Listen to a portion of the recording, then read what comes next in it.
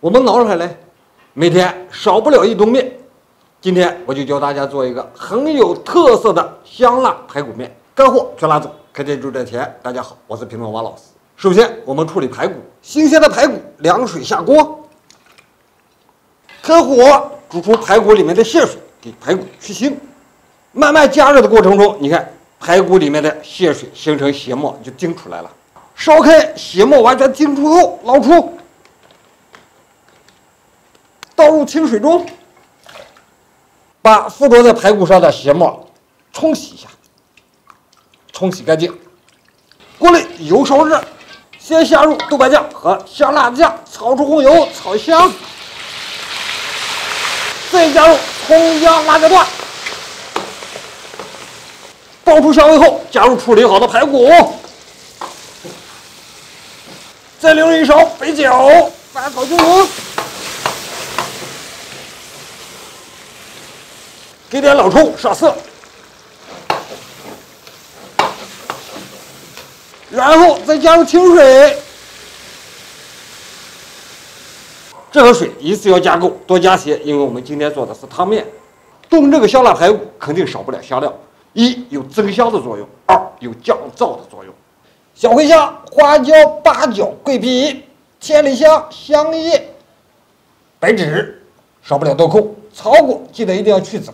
香料抓包，老规矩，清洗一下，去除灰尘，降低药性。加入烧开的汤中，一起炖。最后加入鸡精、胡椒粉、白糖。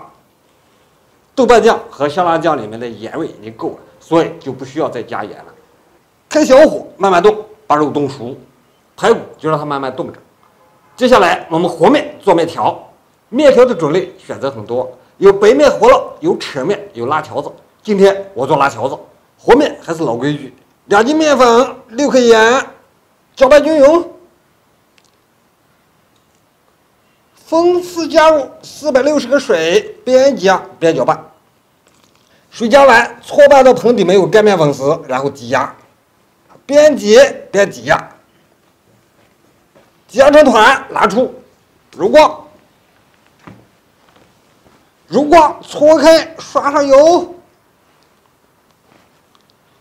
再滚动一下，揪成大小均匀的面剂子，然后再搓开，搓成这样长短粗细均匀的面剂子。刷油，防止表皮风干和互相粘连，然后再二次搓长。注意手法，从中间慢慢发力，向两边搓开，搓到长短粗细一致。然后保鲜膜封闭，封闭好后醒面四十分钟。这个面食的手法呢，我经常给我们来现场学习的学员说：没有捷径，勤加练习，熟能生巧。手上对面食有感觉了，效率和质量都就有了。排骨冻熟后捞出料包，面也醒到时间了，那我们就开始拉条子煮面。四个面取出分开，分开后刷上油，以防止互相之间粘连。首先把面头整起来，两手托起，开始拉，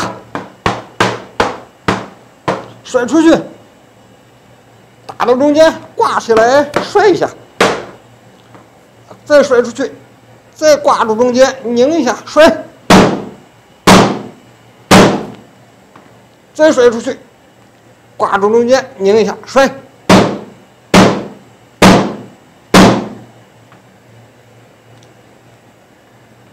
摔，揪揪面头，这样我们的拉条子就制作完成。你看，细细的，特别均匀。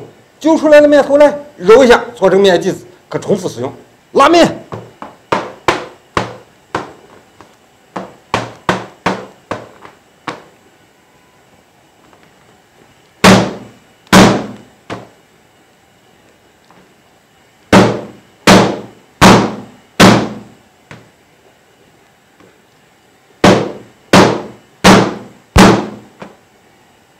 下锅，